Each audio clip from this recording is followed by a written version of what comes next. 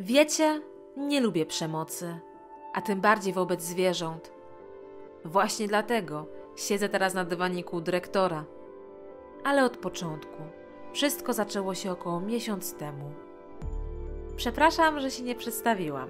Mam na imię Amelia i chodzę do szóstej klasy. Ogólnie to dobrze się uczyłam, ale wiecie, chciałam być najlepsza. Mieć same piątki, bo wtedy rodzice obiecali mi, że pojadę na kolonię za granicę. A było to wtedy moje największe marzenie. Tego dnia wyszłam wcześniej do szkoły. Nagle usłyszałam dziwne skomlenie w krzakach. Podeszłam bliżej, zobaczyłam pieska. Okazało się, że całą główkę miał we krwi. Od razu zawołałam tatę. Powiedział, żebym się nie martwiła i on zawiezie zwierzaka do weterynarza, a ja mam lecieć do szkoły.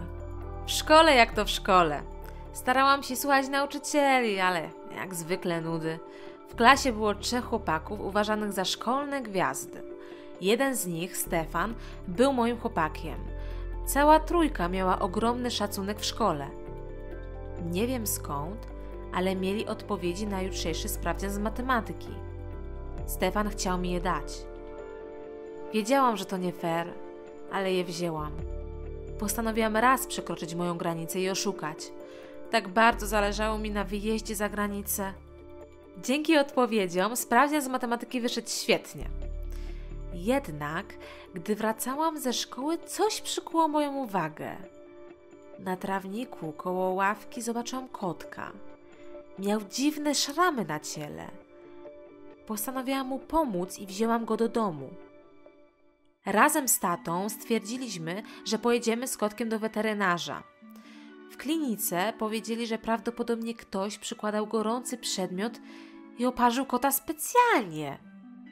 Jak ktoś mógł coś takiego zrobić? Jak można krzywdzić zwierzęta? Kiedy myślałam, że to wszystko się skończyło, w drodze do szkoły znów zobaczyłam coś niepokojącego. Dziwne ślady krwi.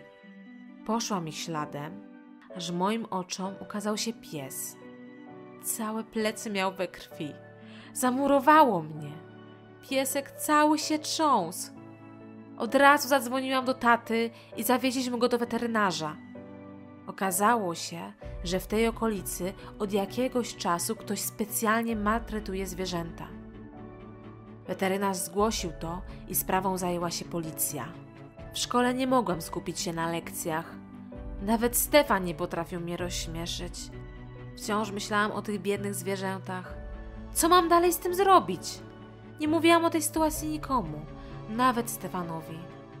Postanowiłam sama zrobić małe śledztwo. Wieczorem poszłam na miejsce, gdzie znalazłam ostatniego pieska.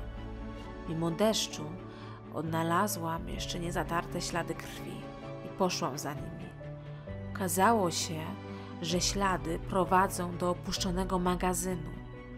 Było już ciemno, więc stwierdziłam, że przyjdę tam następnego dnia. Tym razem lepiej się przygotowałam. Wzięłam latarkę, coś do picia i kanapki.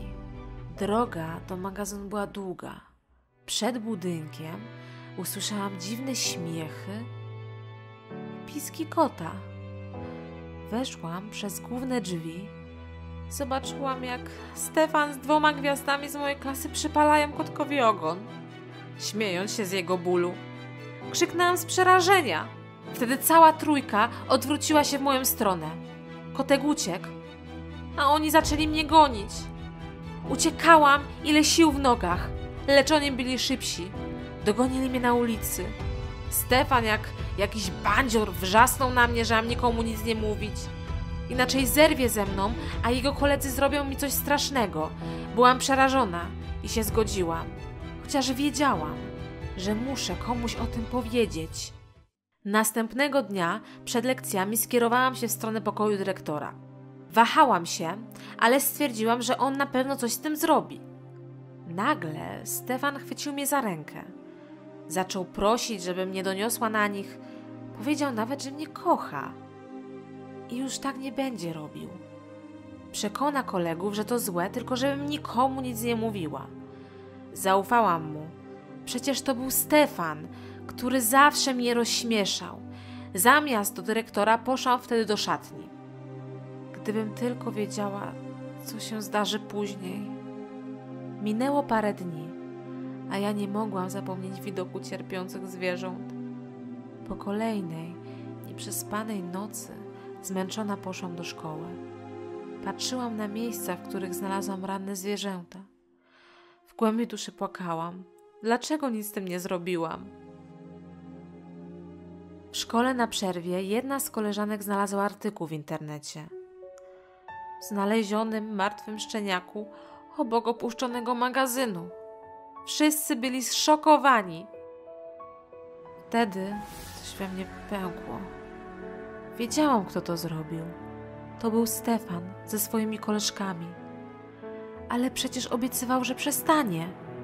Dlaczego to zrobił? Może gdybym wcześniej zareagowała, to szczeniak by przeżył. Postanowiłam zrobić to, co dawno powinnam. Poszłam do dyrektora i wszystko opowiedziałam.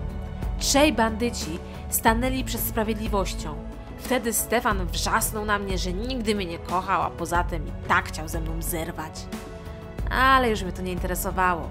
Był bandytą, krzywdził zwierzęta, przekroczył granicę, którą nigdy nie można było przekroczyć. Potem wszystko potoczyło się samo. Policja, nauczyciele i oczywiście rodzice, którzy przecież nic nie widzieli. Ich synowie z każdym kolejnym dniem już nie mieli żadnych hamulców, robili co chcieli. Chodzi o to, że musi coś przecież istnieć. Jakaś granica, za którą nie wolno przejść, za którą przestaje się być sobą.